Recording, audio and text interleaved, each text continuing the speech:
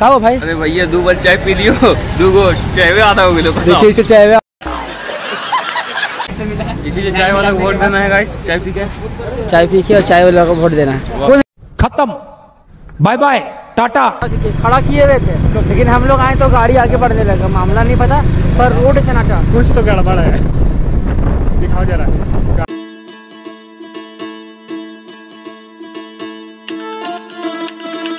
Guys good morning welcome back to my another blog तो सुबह हो गया गाइस और हम नहा वहा के हो गए रेडी और देखिए यहाँ नॉडी आया हमको लेने के लिए। तो कहाँ चलना है? तो चाय पीने चलना है ना मेरे को? ठीक है देखिए। मेरे को लेके लेने के लिए सिर्फ़ नॉडी सिर्फ़ मेरा मेरे को लेने के लिए आया हुआ था। तो अब लेके मेरे नीचे जा रहा है। तो जाते हैं नाश्ता वगैरह करेंगे और गैरेज में दिए हैं गाड़ी भरने के लिए। तो वहाँ भी चलेंगे देखने के लिए। चलिए देखते हैं क्या होता है। कि उठे और पेट पूजा शुरू है। क्या बना है तड़का हाँ तड़कान तड़का। तड़का। अभी हम बैठे तो रोटी के साथ? सबको दिख रहा है कि एक ही रोटी खाते हैं। उसे पहले और तो पहले जो हाथ में है मुँह में जो है ये वही है। मुँह में जो है? वही है। हम तो सब तुम बीस को नहीं खाई रोटी। कि एक रोटी खा ली? बीस को कम तुम खा ली तो गाइस अभी हमको चाय मांगे थे पर नहीं मिला चाय। यहाँ पे चाय मांगने पे बोलते हैं लेट से उठा है तो चाय नहीं मिलेगा ऐसे वैसे। मेरा जो प्रॉब्लम है कोई नहीं समझेगा क्यों लेट से उठ के क्या कर रहे थे क्या नहीं कर रहे थे। तो देखिए डायरेक्ट हमको मिल गया अभी नाश्ता में। रोटी तड़का और सलाद और चाट मसाला। रोटी है? रोटी तो इतना सारा है भाई चार पाँच रोटी खा ही लेते हैं हम। चार पाँच रोटी है। गिरे भाई नहीं छोड़ दो नज़र मत लगाओ। तो गाइस घर से निकल गए हैं और शोरूम जा रहे हैं। अभी रास्ते में हम लोग हैं तो विवेकानंद स्कूल पहुँचने वाले हैं।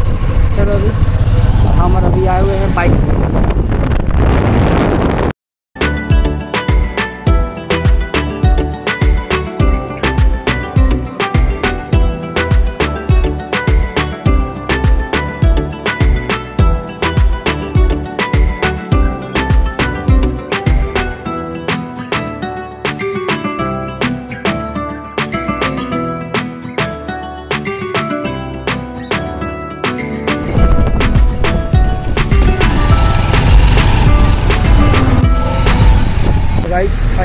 गैरेज आ गए देखिए, यहाँ पे गाड़ी लगा हुआ है।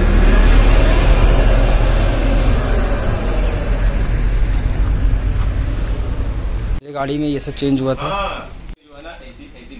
ये पूरा साड़ी है गाड़ी इसलिए गाड़ी को ऊपर साथ में नहीं रखना चाहिए। नहीं तो ऊपर से तो बहुत अच्छा लगेगा। अंदर से पूरा ख़राब हो चुका रहता है। ये वाला ख़राब है, इसको भी चेंज करना है स्विच को।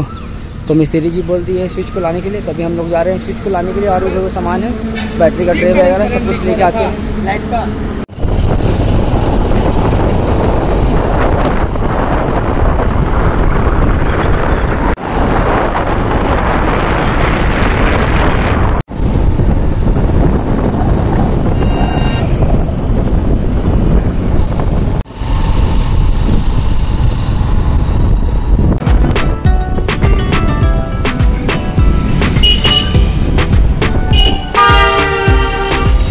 घर आ गया और जो सामान लेने के लिए गया था वो नहीं मिला। तो अभी मैं खाना वाना खाऊँगा और फिर से जाऊँगा मार्केट तो चलिए चलेंगे फिर से। तो अभी घर में रेस्ट करते हैं। बहुत धूप है बाहर बहुत गर्मी है। घर आइए दस मिनट रेस्ट कीजिए उसके बाद मतलब कि जूस वगैरह पीना मतलब कि बहुत इंपॉर्टेंट है ज़रूरी है अभी।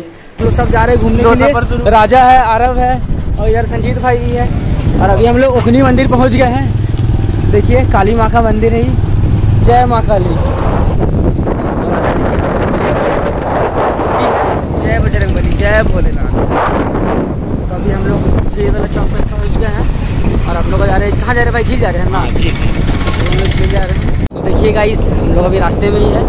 बस कुछ ही सेकेंड में झील पहुँच जाएँगे। ये हजारीबाग का वायु आवास है। और वो आगे वाला चौक है। लिए आए थे और चाय मिल गया है। क्या रहा कैसा लगा चाय? ये राजा देखिए। बहुत लेट से मिला है। इसीलिए चाय वाला को वोट देना है गाइस चाय पी के। चाय पी के और चाय वाला को वोट देना है। कौन है चाय वाला? मेरा चाय तो खत्म हो गया दो तीन बार में। राजा का क्या हाल है? कहा हो भाई? अरे भैया दो बार चाय पी लियो। दो गो चाय में आधा हो गया देखिए इसे चाय में आधा हो गया है। दो गोट में। और तेरा आरम खत्म ही करने के कगार पे है। संजीत भाई कुछ बोलो। नहीं ठीक है। मेरा था जाए ज़्यादा चाय ज़्यादा चाहिए घूमने के लिए आ गए मटवारी आरब को बहुत मन था मटवारी घूमने का और राजा को भी। हजारीबाग का गांधी मैदान है। इस मैदान में ये है कि एक ही बार में बीस पच्चीस टीम खेलते हैं। बीस पच्चीस टीम यहाँ पे क्रिकेट खेलते हैं देखिए। देखिए गांधी मैदान में भी घूमने के लिए आए थे। तो ये भाई जर्मन से बैठ को यहाँ घुमा रहे हैं। और तो देखिए यहाँ पे एक भाई मिले हैं जिनका चैनल का नाम है हजारी बाग से है। इंस्टाग्राम पे इनका चैनल है। और ये इंटरव्यू कर रहे हैं जागरूक करने के लिए कि वोट देने जा रहे हैं या नहीं जा रहे हैं। तो साथ में अरब भी है और ये राजा सिखा रहा भैया क्या बोलना है कैसे बोलना है? रात हो गया है नौ बज गया है रात का और अभी हम लोग घर जा रहे हैं। देखिए ड्राइवर में अरब पीछे बैठे हुए हैं और पीछे राजा बैठा हुआ है। संजीव था हम लोग को छोड़ के बीच में चला गया और हम लोग देखिए भूते गली में आ गए हैं। और भैया लोग देखिए गाड़ी खड़ा खड़ा किए हुए थे। लेकिन हम लोग आए तो गाड़ी आगे बढ़ने लगा मामला नहीं पता पर रोड से नाटा कुछ तो गड़बड़ है। दिखाओ जरा गाड़ी में दिखाओ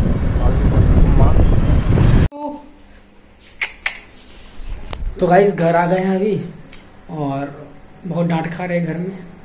वो मेरा नेचर ही है, डांट खाने वाला। हमेशा हम अपने स्वभाव के कारण डांट खा ही लेते हैं घर में।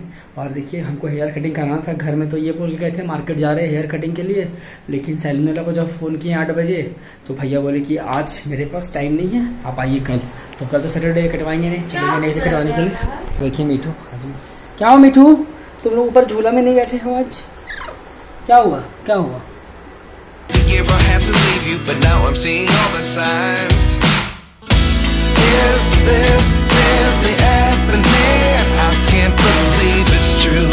I'm just as surprised as you.